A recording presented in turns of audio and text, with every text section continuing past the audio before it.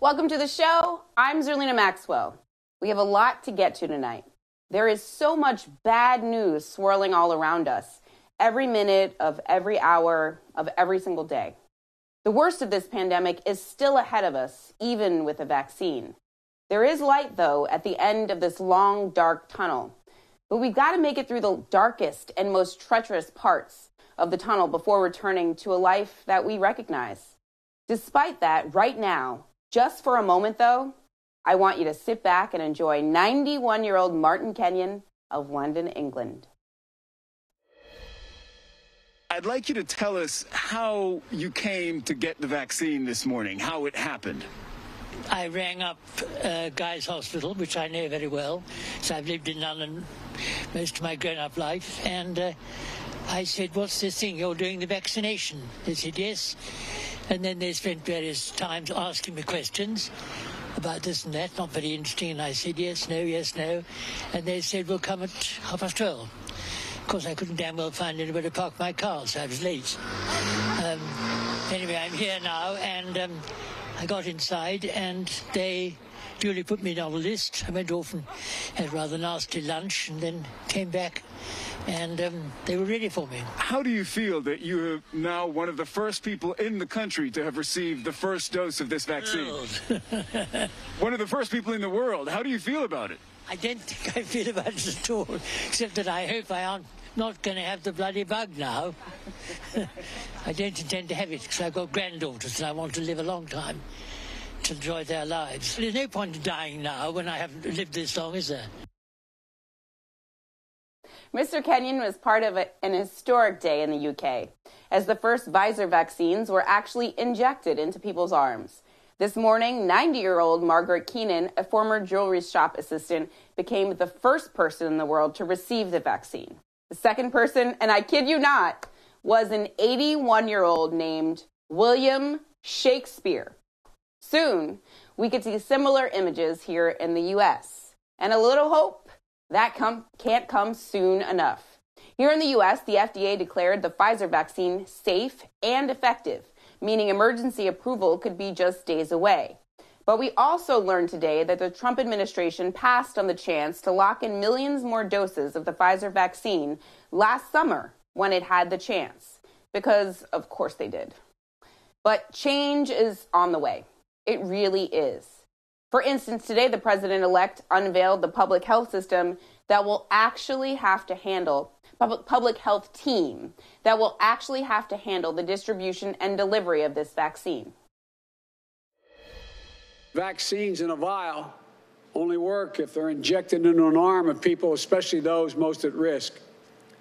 This will be one of the hardest and most costly operational challenges in our nation's history. Getting vaccines to Americans, getting Americans to take the vaccine, rolling it out fairly, this is going to be the 2021 version of the space race. We are wa- watching history and we are living history. The next chapter began today. And starting us off tonight, Dr. Kavita Patel. She's a physician and the former health policy director for the Obama White House, and Kathleen Sebelius. She's the former Secretary of Health and Human Services under the Obama administration. Dr. Patel, I want to start with you. We were really all heartened, not just because those are adorable older British people, um, but we were really heartened by those scenes out of the United Kingdom today. Um, but a new report from the Coronavirus Task Force suggests the vaccine won't alter uh, the course of the pandemic in this country until next spring. Do you agree with that timeline as it's laid out? I do. And Zerlina, here's why. First of all, I have like tears in my eyes looking at the promise and reading the data that Pfizer submitted to the FDA because there is a safe and effective vaccine. And we hope we'll see the same from Moderna. But to your point and your question, I think that people have to understand the vaccine doesn't prevent you from getting the virus and potentially transmitting it until we have a certain proportion of the population immunized. So, you it, just to put it even more bluntly, for 10,000 people who get the vaccine get the vaccine, only two of those people will get an infection compared to about 37 people who don't get the vaccine. So, we still have so many Americans that are going to get the virus and unfortunately, Zerlina, die from the virus because truly put, we can't flip a light on and get the entire country vaccinated. So it is definitely at 200,000 cases of coronavirus a day. We are still looking at millions and millions and millions of more cases. And again, those deaths that go with it. That's an important reality check um, because I think with the vaccine news, folks are almost like letting their foot off the gas in some ways. And we have to remember that the scientists are saying, and the doctors, most importantly, are saying, we have to keep doing the masking and the social distancing and all of the advice up until uh, we do get that vaccine. Secretary Sebelius, today, President elect Biden uh, promised that his administration would oversee the injection of 100 million vaccine shots within the first 100 days. And they vowed to reopen a majority of schools across the nation in the same time frame. Do you think that is a realistic time time frame in uh, in your opinion? Well, I think if the manufacturers' uh, projections are correct, hopefully by the time the Biden administration comes into office, we actually could have two safe and effective vaccines. Uh, the data on the Moderna model will come to the FDA a week after Pfizer, which is uh, on the, you know, in the meetings this week. So we could have two vaccine candidates. We could have the possibility of ramping up uh, production quickly with both vaccine candidates. And I think that is realistic. It is, as uh, the president elect has said, uh, the most enormous logistical challenge I think that we've ever faced as a country uh, because of cold storage requirements, because it requires um, real um, effort to get to the right place and the right people. We have to be totally transparent. We need to make sure that the most vulnerable populations, that the underserved communities have equal access. And you know, I I am thankful that the Biden administration will do everything in a very transparent way and we'll use the maximum resources of the federal government, which have not been brought to bear on anything but the speed of the vaccine development. That's good news. Everything else has been deferred to governors or private sector and hasn't gone very well. So I worry about these opening days of distribution, and I'm eager for the federal plan to come in, make it clear to governors what the federal government will do, what their logistics will be, how much financing they'll put into this effort, and then governors and mayors and hospital administrators and others can do their job getting people ready to go. Yeah, it seems to me like, you know, so far leaving it to the governors and the local leaders hasn't gone well because there's such a spectrum um, of ideolo- ideology. And so some governors are not inclined to follow the science and heed the advice, and some are. And, and we can't do that because it's a virus that's affecting the whole nation. It doesn't care which state you live in, what community. Dr. Patel, I want to ask you about the reporting out of the New York Times that I mentioned earlier about the Trump administration passing on the chance to buy more Pfizer vaccines um, back when they had the chance. How far could that set this country back in terms of availability of vaccines uh, to be distributed in an equitable way? Yeah, it's, it, it could be an important setback. And honestly, Zerlina, we haven't heard a really good rationale for why they passed. And, and really, what happened is Operation Warp Speed had the right to kind of buy this in advance.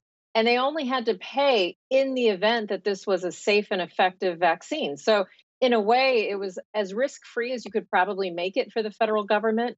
And yet they passed, and it's truly not clear why. There's a lot of back and forth in that article about why it could have happened. But at the end of the day, Zerlina, we have Pfizer, which is the first up of several that have promising data and will get approval most likely this week. And yet we are not going, they are not going to be able to give the additional doses that we might ask for on top of what they've already promised us until probably July. Pfizer has made it really clear that worldwide demand will kind of put our needs towards the end of the line after what we've already been purchased what we have purchased. So i what i want to do though is not scare people. We actually do have several manufacturers as secretary sebelius said and so mm-hmm. we're hoping that more and more of these manufacturers come online in the next several months if it's safe if it's effective and therefore we have options. But zerlina watching the, the data come out and not being able to say that we could have had a chance to have 100 million people vaccinated, et cetera, is it's really heartbreaking when you look at the toll it's taking on Americans. Particularly because there's not really any clarity on, uh, to your point, the reason behind them uh, refusing to to uh, get those extra doses. Secretary Sebelius, today President Trump signed an, an executive order. I don't really know what it means, but he says um, it will prevent other countries from getting U.S. Uh, supplies of the vaccine until Americans have gotten those supplies.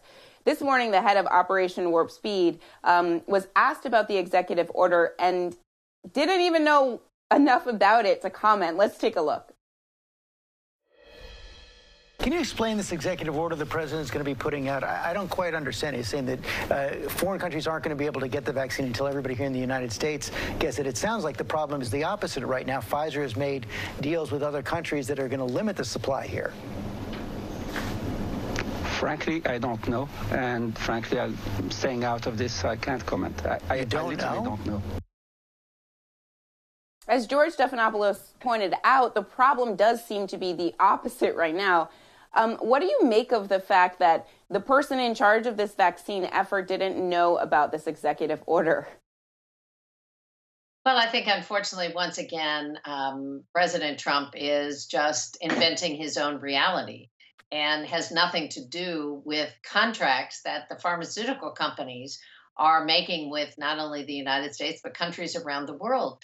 Uh, there's a major international effort called COVAX, which is securing vaccine for developing countries. The United States has refused to participate in that. We've refused to participate in funding vaccine candidates internationally. We refuse to participate in the WHO. And somehow, um, I don't think President Trump understands contracts very well, that his executive order has no bearing whatsoever on the kind of contracts that both the United States government has executed with Pfizer and Moderna and others, but also other governments have executed. Uh, those are the ones that stand. That's what makes this tragedy, uh, as Dr. Patel has said, even more poignant. I think what the president's trying to do is pretend that he did not have a chance to get another uh, 50 million doses, that he did not turn down that opportunity, and now says there's an executive order that I'm going to sign that will make all this vaccine available in the United States. That's just absolutely not true.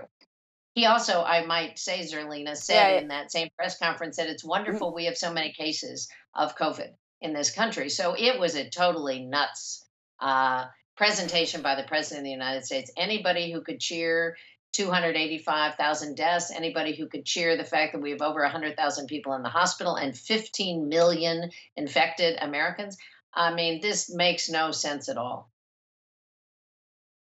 Yeah, it feels like it's back when he was saying if you if you have more tests, you'll have more cases. it's like it's it, it's it's yeah. like it, he can't stop saying things that are, are are so upsetting, particularly because the reality is, as you said, 200 and almost 300,000 Americans uh, have passed away in in just this year. Secretary Sebelius, I also want to ask you about.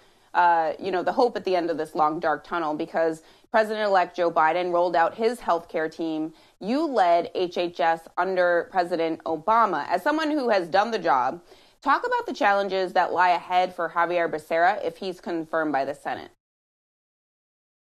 Well, I think Xavier Becerra is a, a magnificent choice. I had the opportunity to work with Congressman Becerra uh, when I first came into office. He was a key lieutenant on passing the Affordable Care Act and making sure that the House coalitions um, were on board and that uh, the law contained the important pieces of expansion of Medicaid and access to uh, individuals uh, who are lower income. He totally believes that healthcare is a right, not a um, tied to geography or employment, but it's a right for American people. He also, importantly, has worked on issues like uh, immigrant children crossing the border, on access to health care for lower income black and brown communities on mm-hmm. he's taken on the opioid crisis as attorney general he's been at the front lines of fighting to defend the affordable care act and he's run a major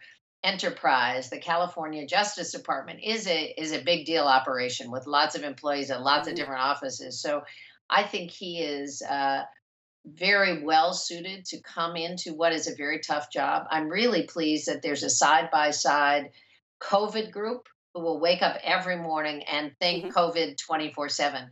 HHS has 11 operating agencies, everything from the NIH and FDA and CDC to children and families issues and aging and mental health and drug abuse. So the HHS secretary absolutely will be involved in working on COVID, but has to also pay attention to all of these other critical services and supports that Americans rely on every day. So they have a you know a great announcement that there'll be a team thinking nothing but covid from the time they wake up in the morning till the time they go to bed both economically and on the health side and then a very skilled secretary to you know begin to rebuild that team across hhs it's so so critically important to have competent people running these these large bureaucracies it, it, it does um, that literally impact people's lives Absolutely. Uh, Dr. Kavita Patel and Kathleen Sebelius, thank you so much for being here and for breaking all of that down for us.